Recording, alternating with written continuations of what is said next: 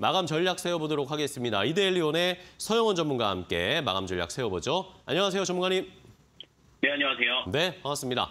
자, 오늘 시장도 역시 상승세를 이어가고 있습니다. 외국인 기관이 양시장에서 매수를 계속하고 있고 반도체 관련 종목들이 결국에는 한번 상승을 어, 뿜어주고 있는 상황인데 자, 오늘 시장 어떻게 마무리 준비하고 계신가요? 네, 맞습니다. 오늘 우리나라 시장의 상승은 상당히 좀 의미 있는 상승이 이루어지고 있지 않나라는 생각을 합니다. 특히나 삼성전자가 뭐 6만 7천 원 넘어서서 6만 8천 원까지도 좀 상향 돌파가 되고 있다라는 점인데요. 사실 6만 8천 원, 즉 6만 6천 원짜리도 좀 돌파하기 쉽지 않은 자리가 계속 지속되어 왔었는데 어, 최근 한 3개월 동안 형성되었던 정고점 자리를 좀 돌파를 시도하고 외국인 수급들이 강하게 들어오고 있다라는 점에서는 한국 증시가 좀 한 단계 그래도 레벨업 할 수 있는 자리가 좀 이루어지지 않았나라고 생각을 합니다.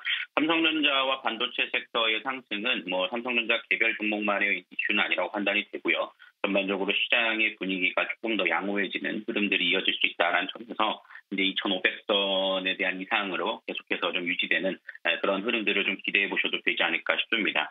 어, 특히나 반도체 소부장 관련된 흐름들에서도 지속적으로 좀 강세를 좀 보여주고 있다라는 점 역시 좀 긍정적이라고 볼 수.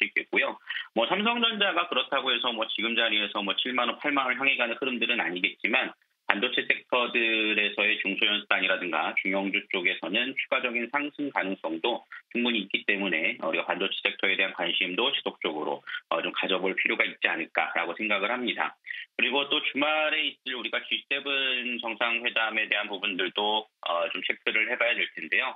어, 우크라이나 재건 관련된 이슈가 좀 이어지고 있는 상황이고 거기에 따라서 또 신재생 관련된 흐름이라든가 어, 환경 관련된 기후 관련된 모멘텀을 좀 받을 수 있다라는 점을 감안해 보신다라면 어, 이 점도 관심 있게 살펴보실 수 있는 흐름이 있지 않을까 싶습니다. 어, 그래서 SOC 관련된 흐름들과 신재생 관련된 흐름들, 그다음에 재건 관련된 모멘텀을 좀 관심 있게 살펴보실 수 있다라고 말씀을 드릴 수 있겠고요. 다음 주 이슈로서는 뭐 FOMC 의사록이라든가 미국의 GDP 성장률 발표도 있겠습니다만 한국은행 금통위도 열리기 때문에 우리가 그 점을 좀 주목해 보실 필요가 있겠고 금통위에서는 뭐 동결 가능성이 좀 높기 때문에 시장은 조금 한 단계 레벨업한 상태에서 이제 중소형단들도 좀 낙수 효과를 보이면서 상승 순환매가 이어지는 강세가 전개될 가능성이 높다라고 좀 전망을 하고 있는 상황입니다.